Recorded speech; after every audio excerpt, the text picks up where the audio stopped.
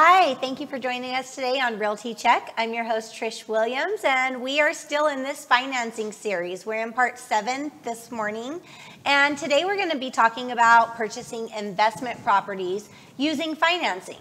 So we have a special guest with us today, Arturo Pradera of Alterra, uh, Arturo Pradera of Alterra Home Loans, um, and Arturo is going to give us his expert advice and um, walk us through how you can use financing to purchase an investment property, which is pretty exciting. Yeah. Yeah. So Arturo, tell us a little bit about yourself. Uh, well, I've been in the mortgage business now uh, 13 uh, plus years. Um, been in Las Vegas 30 some years, uh, so I know the, the valley pretty well. I've been with Alterra Home Loans, where I'm at now. I'm, it'll be 10 years in a couple weeks. So oh, wow. I'm excited. That's that's a long time for anybody to be at one company. So absolutely. Uh, but I'm very happy there. So um, and uh, you know we do a good amount of business, and I, I don't won't say I'm an expert, but I, am pretty close, I'd say. Oh, you are an expert. I've worked with you. You are you're definitely an expert. Yeah. You know what you're doing. You know your stuff, and you're very um, you're you're very precise in everything. So I, I, appreciate that. Thank you. So I only have experts on the show. I just want to say that out there. Only uh, experts. I was trying to be modest. so, uh, so good. Thank you for joining us today.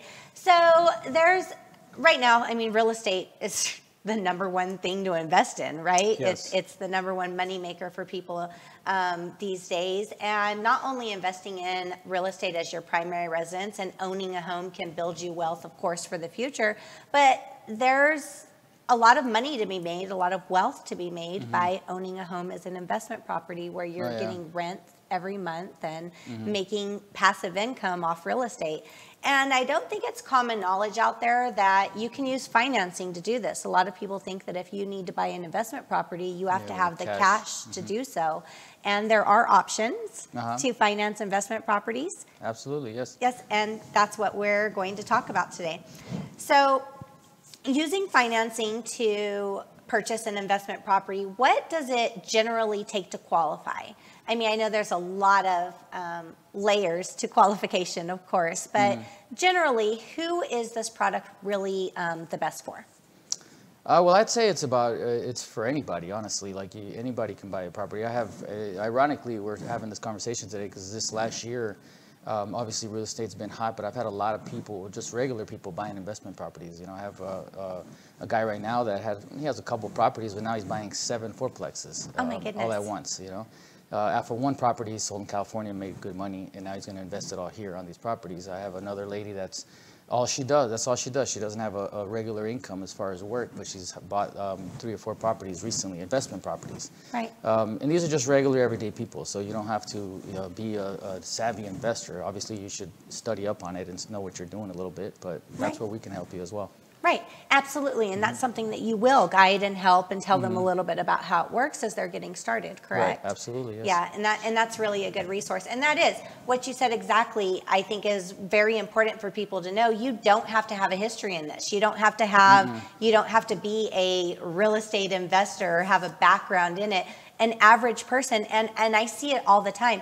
Average everyday people that are making mm-hmm really good, solid income just mm-hmm. off of owning investment properties. Yeah, like I said, this uh, the the client I have now, the lady, um, that's all she does is has like five properties now and buying more, um, and that's all. That's that's the income that we're using to qualify her for the other properties. Really? So imagine that. Yeah, she has no actual income that we used for a job or anything like that for her uh, qualifications to buy these properties.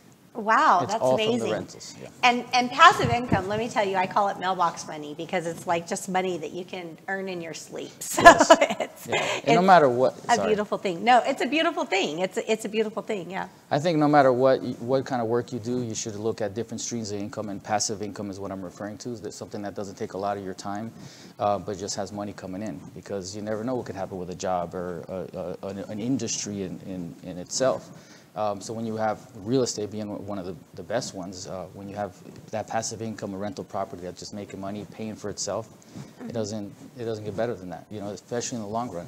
Yep, and that's why I think this topic is so important is to open people's eyes to the potential that you could have with that, mm-hmm. because mm-hmm. so many people you work a you know you work a nine to five, you you go to work every day, you work a nine to five, you wait for retirement, and that's great but there's so much more that can be done Mm-hmm. and it doesn't take a special uh, you know a special talent or skill to be able to do it. You can really anybody can make it happen. Yeah, yeah and, and and that's what's just amazing about it.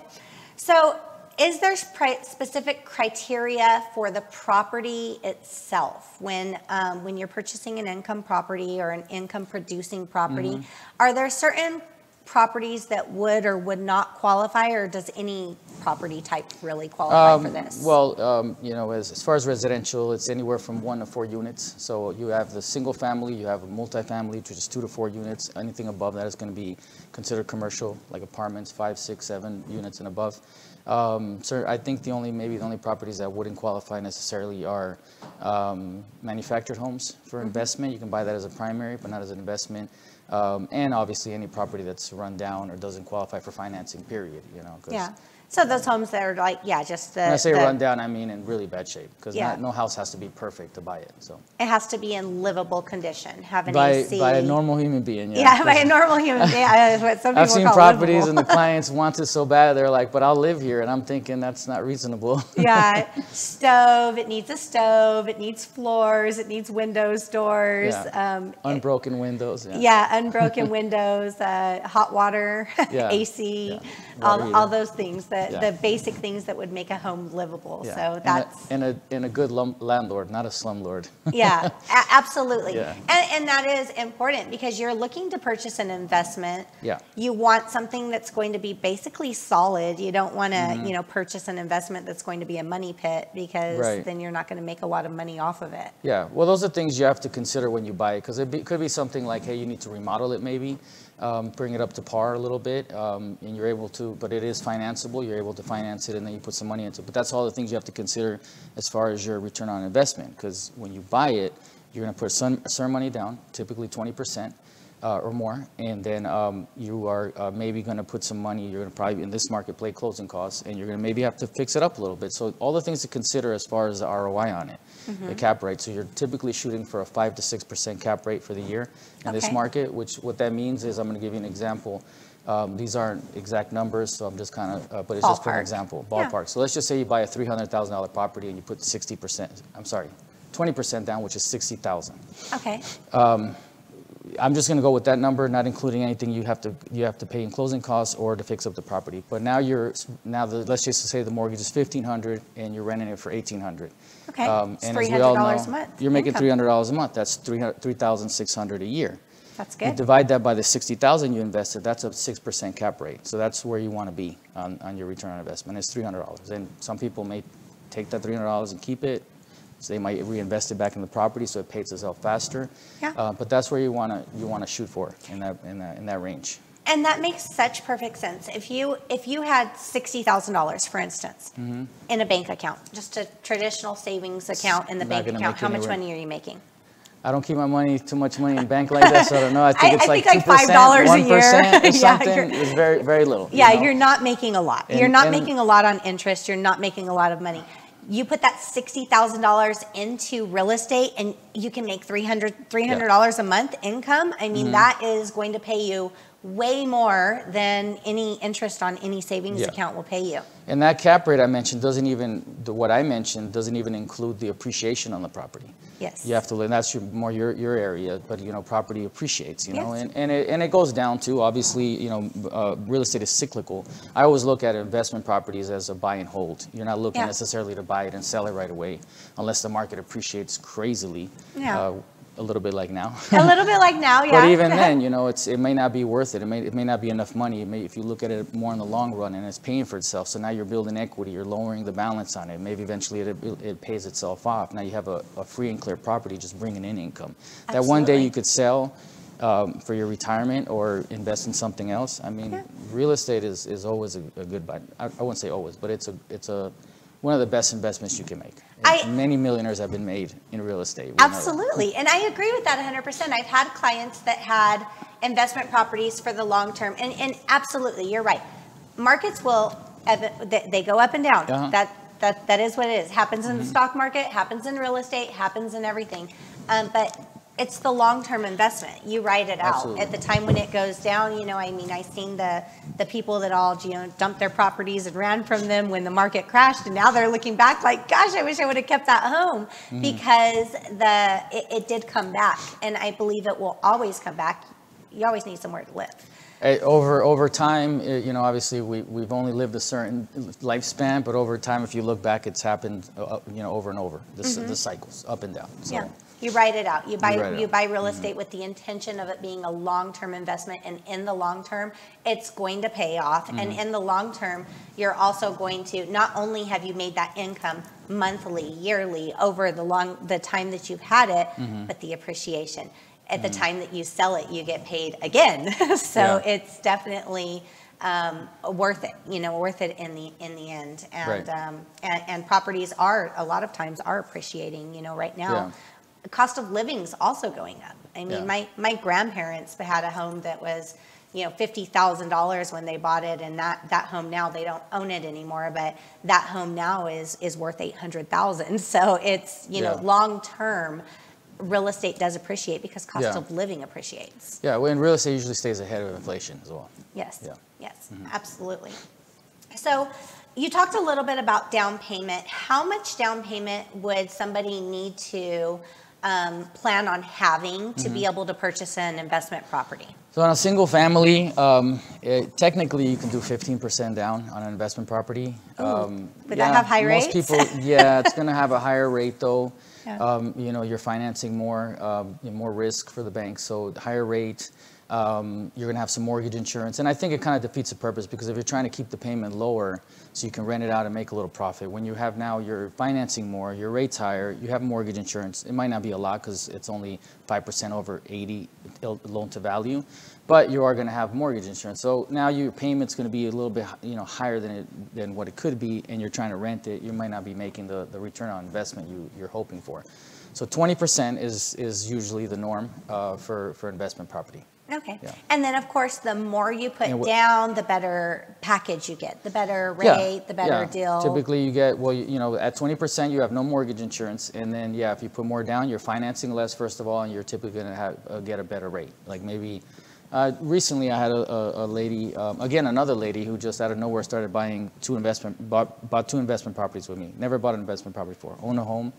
Um, uh, but so it's interesting how people now with the rates low and Vegas growing, and she lives in California, so Yeah. she knows that Vegas is hot, you know? Yeah. Um, but um, she went from putting down 20 and she decided you know what I, I, she got a little more money from uh, something and she goes i want to i want to put another 5% down her rate dropped to half a point and Okay. I, i'm not going to say that's going to happen with everybody but just an example so yeah and that just helps with lowering that payment like Yeah. i said that's that's that's the the key And That, yeah, and that's the intention. You're buying a property to make, um, you know, to make Mm-hmm. Yeah. income off of. So you want to have the best case scenario as possible. And And- if you have the ability to put down the extra Yeah, money. and one thing people sh- uh, should should know as well, um, like the, the the the lady I have that has four or five properties now, investment properties, is that you're qualifying with the rent, the expected rent for that property, um, or the actual rent. So what happens is when you buy an investment property, they, um, the, the appraiser does a couple additional reports. One is if there's a tenant in there now, what it's renting for now, and what's the um, the actual that you could get for that property uh, based on uh, market rents. Um, so let's just say it, it, right now it's renting for 1,600, but it could rent for 1,900. Okay. Um, so you keep that in mind because once your tenant, your lease is up with the current tenant, if there's a current tenant, um, but you're actually using that money to qualify. You know, a percentage of that, 75% of that, you would actually use to qualify. Okay. So it's not like you have to qualify with your income only. You know what I mean? Okay, so you don't have to be, basically, if you own a home right now Mm-hmm. and you're wanting to buy an investment property, you don't have to typically be able to qualify for two mortgages, two No. full mortgages. No. You just have to be able to qualify for 25% of that payment Right. on the investment Yeah, property. Yeah. So I've had situations, you know, and, and um, where where the 75% the, of the um, mortgage, I'm sorry, of the rent didn't actually cover the mortgage of the property they're buying because it's only 75%. It's not the full 100% we're using. Um, but the um, and then with the person's other income, they quali- they qualify for the property. So Okay. yeah. So their, their income can play into that as well. And another thing that I'm sure that people out there are probably thinking of, so there's a lot of people out, th- out there, you know, I mean, probably more, more than not, that don't have, you know, $60,000 right now in their pocket or, in their account, but they might own homes that have $60,000 worth of equity in their homes. Are they able to, like, do a refinance, pull Yeah. out that equity and use that equity to purchase a, an Yes, investment absolutely. property? I, I got a call from a lady yesterday who, who just actually finished paying off her home. She bought the home with me a few years ago, and she put as much money as she could. And she's like, now I want to buy another property. Can I pull that money out? And I'm like, yeah, if you want to, you'll have another mortgage, but Yeah. uh, it'll be small because you're only pulling out. And she actually it was sixty thousand that she said. So How funny. yeah, so yeah, you can, um, and obviously that's just a number we're using, but um, Yeah. yeah, you can you can do that if you have enough equity, um, which people have bought at a certain time years ago, now have a lot of equity in their home. Seeing you're seeing that a lot. That's why a lot of people are are uh, in a good position to sell right now as well because you know the market's up. So, Yeah. um, but yeah, if you um, obviously there's percentages, you can't cash out the full amount unless you sell the property. Mm-hmm. Um, the the max on a cash out is um, 80% of the lo- of the loan to value. So if your home's worth 300, you can finance 240. That pays off the mortgage you have now. Let's just say your mortgage is 120. Some closing costs. The rest for, of that 240 is your money to to do with what you like. Oh, In so this there's no case, you could penalties turn around on- and, and invest it on a on a on a on an investment property. Right, so there's no penalties on that, and if somebody wanted to do that, they could contact you and you'd be able to handle the whole process from the refi to the purchase. Yes, absolutely. yeah. Yeah. I've done quite a bit of that, especially lately. Like I said, people, in, in this last year, I've been doing this over 13 and a half years. Uh, I, this last year, I've had the most people buy uh, as investments uh, ever.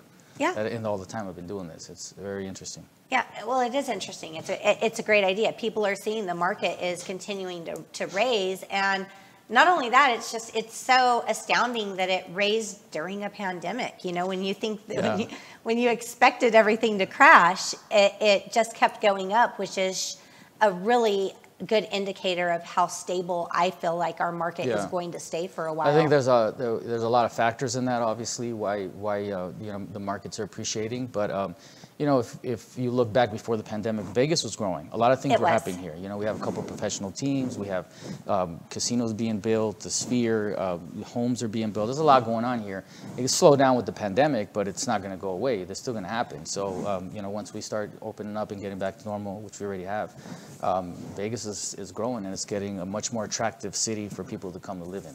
Absolutely, and it is. It's the place to be. Mm-hmm. If there, if you ever have a chance to look at the, there's a there's a county website, something I think it's called Las Vegas 2050, which is I know it's it sounds like a long time from now, but it's really It's not. it's really not that far away. but the plans for this city, there is so much in the works and Oh, yeah. so many things going on, so many areas that were just kind of, I guess, left alone and abandoned that they have big plans for Mm-hmm. Oh, yeah. things are going to be changing. We're going to see a lot of changes there, and it's a lot of exciting things that's going to bring in Mm-hmm. more business, new people. I mean, the older parts of Vegas are starting to be renovated, they're all turning around. There's a lot happening here. I think it's the place to be. We don't have a beach, but we have a lake. So Not the same, Trish. I, I miss the beach. I'm a It's beach. the- I'm a beach boy. it's not the same. I was joking yesterday. We're probably an earthquake away from a beach, but I'm Ah, that's just funny. that, that's That's that's, eerie. Cal- sorry, just California. joking, not funny. Sorry. Nah, but Vegas, yeah, it's, uh, you know, I've been here a long time, 31 years now, and, and it got to a point, it got a little tiring for me, um, you know, just being here a long time, and uh, and I, miss, I like I said, I missed the beach, um, so I kind of was already thinking like about moving, but in the last few years, I've I've changed my my perception of it because Vegas is actually becoming a, a very cool city. Yeah, think, yeah. It's you not know. just this little desert with casinos. It, Yeah. it, it's changing a lot, and, Yeah. and it is. Things are changing. And everybody's here. welcome. Yeah. Okay. I know a lot of people don't want Californians coming here for some reason, but They're all. you're all more than welcome. I was born in California. There's so many Californians here right now. I, I mean, it's just I, I, Californians probably don't want Vegas people here anymore because that's. Wow, we're, we're outnumbered. Yeah, we're we're definitely getting outnumbered. we are definitely getting outnumbered. So, um, uh, how's income verified for the property qualification? So, the income on the property, I think you said that they verify the rents. They're going to Yes. check the rental comps. They're going to make sure that this property can produce the amount of monthly income to cover the payment. Yeah, the appraiser, like I said, when, when we do an appraisal on a investment property, there's a couple additional reports that are requi- required. And one of them being a rental survey, so they're gonna, they're gonna look into what the, the tenants that are, um, and I say tenants because in case it's a fourplex maybe, um, or a duplex, but even a single family, what, what, if there's a tenant in place right now, what they're paying. But they're also gonna look at what the market rents are, what you could actually be getting for that property. Right. Um, so they're going to look at both of those. Yeah. Right. And you know, on the show, I've talked a lot about like fourplexes and different areas and different things, but duplexes is something that I feel like is so overlooked. You know, it's It cash is. on I the think table. so. I think yeah, more people go for the fourplexes and the duplexes. Yeah, but the duplexes are super affordable. I mean, they're older, they're in older parts of town and everything like that. They're super affordable. And then you have two. You have two, you know, side by side Mm-hmm. Yeah. Mm-hmm. income producing properties. It's definitely something that I think is a good purchase as Yeah. well. And something that people can consider when it comes to duplexes, fourplexes, is um, you know you can actually buy that as a primary residence. Mm-hmm. Um, you're going to be you know living in one and rent the other units. Yeah. You know, and and get those three you know, like in a fourplex, get those three rents and actually qualify with those three other rents. Yeah. Um, so that helps a lot, and you know you're basically living for free and making money off the property. Absolutely. So that's something people are able to do as well. Yep, absolutely. And I don't know if this is in your realm or my realm. I know it's definitely in my realm, but I'm going to ask you as well. Is there a certain amount of properties that you can manage on your own before you're required to hire a property manager? No, there Okay. isn't. But I will say this, as, as somebody that owns, uh, this is just from my personal experience. I'll say that first. But I owned uh, a couple rental properties, one being a fourplex, and the biggest mistake I did was to not hire a management company. Right. And especially me because I'm like the softest landlord. Like, oh, you don't have my rent this month. It's okay. It and I when you just, I- I- you know, but the process of actually, um, you know, i i- when you have a management company, you're like the third party. They take care of everything, especially the calls for something that broke. They take care of all that, you know. I mean, so it's worth the, the, the percentage they charge for the management, um, and then just the, the you know the emotion's not there. So if they have to evict someone, they do the process, which is not the most simplest process, but again, I say this from experience. And I ended up selling my properties um, because I just wasn't managing them well, be honestly. Mm-hmm. Um, it was too time consuming and I was too, you know, like I said, I was too nice uh, Yeah. with people that couldn't pay And sometimes. sometimes that you get taken Yeah. advantage of for being Yeah, too nice. They know when they know they so, call. uh, but I will, at, you know, right now I just have my home, but I will, I do plan on, on investing again in, in, in more rental properties with the management company, no question. So it's just my recommend, personal recommendation, I'll say that. Yeah, most definitely. But there is no requirement as to having, you don't, to finance more properties, you don't have to have a management company. We're not going to require you to do that. Okay, Yeah. perfect. Mm-hmm. And, and yeah, I, I know, you know, sometimes people will, you know, buy a income producing property and say, oh, you know, my brother or my sister, somebody wants to live in there. And I, I always, I, and I tell people that I, I hate to be the bad guy with it, but I say, you know, that might be a red flag because if it ever comes a time where they can't pay, you're, it, it's gonna be, you're, it's gonna Yeah, put you in a it's nep- predicament. Nepotism, it's just like anything, like Yeah. hiring someone that work, to work for you and then they don't, decide they they don't want to show up to work some days. Yeah, yeah, it It's not much different, you know, so it's not, yeah, you, you got to make sure that they're going to pay. Yeah, you got to keep business and personal a Mm-hmm. little separated, even, you know, with this, in this case where you go into purchasing investment properties. So can you use this loan type to do flips? Like if you wanted to purchase it, renovate it, flip it, sell it next month, is this the type of loan you would use for that? No, not, not with a, a regular mortgage bank, um, you know, because we're in the business of financing and, you know, obviously that's how the banks make money, financing the loan and the, over the payments and the interest. So there are, there are companies out there that, that do, um, that do offer, um, you know, uh, financing for flips, but they're getting a lot of their money up front. That way, when you do flip it, it's, they still made their money. But Right. banks make their money in the long run typically, so they're not looking to finance somebody that's going to flip it right away. you know, Right, so I assume with this type of loan, just like with any type of loan, mortgage financing, you really want to work with the, the buyers and the clients that have the intent of holding it for a minimum six months. But really, if you're looking for an investment property, you want to plan on holding it a lot longer than that. Yeah, I'm not sure why anybody would want to, you know, it'd have to be some, some crazy appreciation all of a sudden for anybody to even want to sell it in that quick a time. Because when they bought the house, property, they had to pay closing costs or things they invested in. So unless they're going to make that and more, it wouldn't make a, a, a lot more. I don't, I don't think it would make sense. To me, real estate, especially investment, is buy and hold. You know, if you're in the in the in the business of flipping, buying homes, uh, you know, finding properties out there, distressed properties that need need work, and you can fix them up and sell them. That's different. Uh, but again, that's not the type of financing uh, a mortgage bank does. Yeah, that would be like non-QM, like something outside the box, you know, those, and, and rates get crazy and all that other stuff, but those are Mm-hmm. Outside of the box Yeah. financing types. Yeah, which we'll talk Yeah. about that. We're going to talk about that on the show actually next week is all of those things that don't qualify for traditional, um, traditional financing. Yes. So, um, so that will be one thing. Um, is there a limit to how many income producing properties you can own with loans attached to them? Yeah, typically it's with loans attached. to it. Typically it's 10 um, properties financed, but yeah, but you can exceed that. Um, there are some requirements, and I, I don't remember off the top of my head, obviously, but you can exceed the 10, 10 finance properties with certain requirements, you know.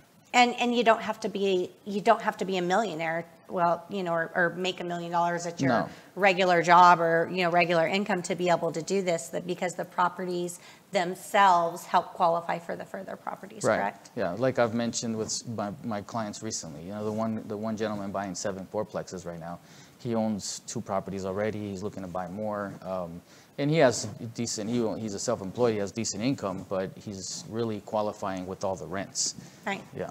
So I, I, I'm also going to address the elephant in the room because there's probably things that people are thinking of. Yeah, yeah, he's right Looking.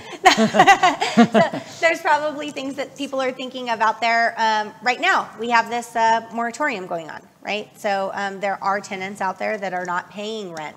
Is Yeah. there, or are you aware of like relief that um, investors are having with that? Is that something that basically they just have to have six months reserves to cover in instances of cases like that? How, as a mortgage lender, are you guys addressing this situation on the qualification, or is it something that's even being So addressed? anytime you buy an investment property, they require you to have reserves. Um, The reserve amount depends on how many properties you own already. Okay. It's a- typically a percentage or, or it's a, like six month reserves. What reserves are, it means like if the mortgage payment's fifteen hundred dollars and you need six month reserves, you need six times that. So what is that, nine grand, I think? Mm-hmm. You have to have that in your bank. After the money you're gonna spend on buying the property, you still have to have that money sitting in the bank. It's not gonna be used for anything, but it's just a cushion that you're showing the bank. They don't want you spending every dollar you have on an investment property. Yeah, especially gambling. because there's vacancy percentages, you know, you you might have the property vacant for a while. There might be some, st- the stuff that needs to be fixed and things like that. So yeah, you're gonna want reserves in case something happens. As far as the rental moratorium, I don't know much about it, honestly.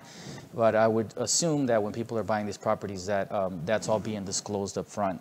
Um, that, you know, the, the research is being done as far, by their agents as far as that, that that property is rolls. receiving its rent. Rent rolls, there you go. Yeah, rent That's rolls. And, and that is, that is, as an agent, when I'm working with people that are buying investment properties, I'm, and there was even, you know, one that was self-managed we were working with recently, they had, they kept, they, they kept no rent records.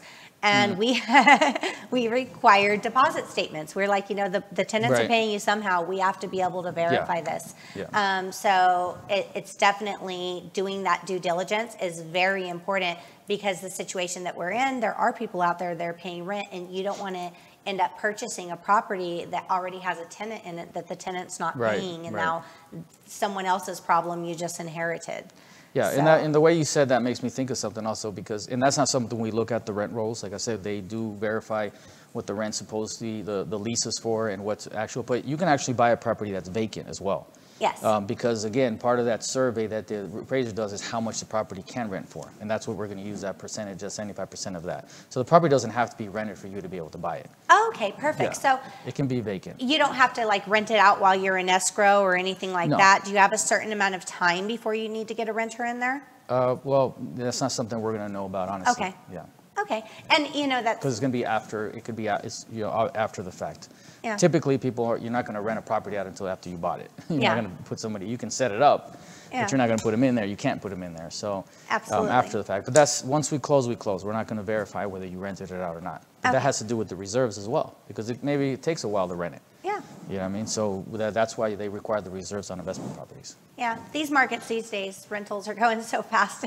Yeah, I don't think I've, uh, anybody's a property, a problem with that. Yeah, I'd be surprised to find a home that's not rentable. So Yeah. it's, uh, it- it's, anything's pretty much renting these days. Mm-hmm. Um, there's just a lot of people moving here. So it is, it's a great time to have, you know, in- investment property. You're going to get those, probably your vacancy rates are going to be super low and you're going to get good, good amount of, of income for, for rent, so. Mm-hmm.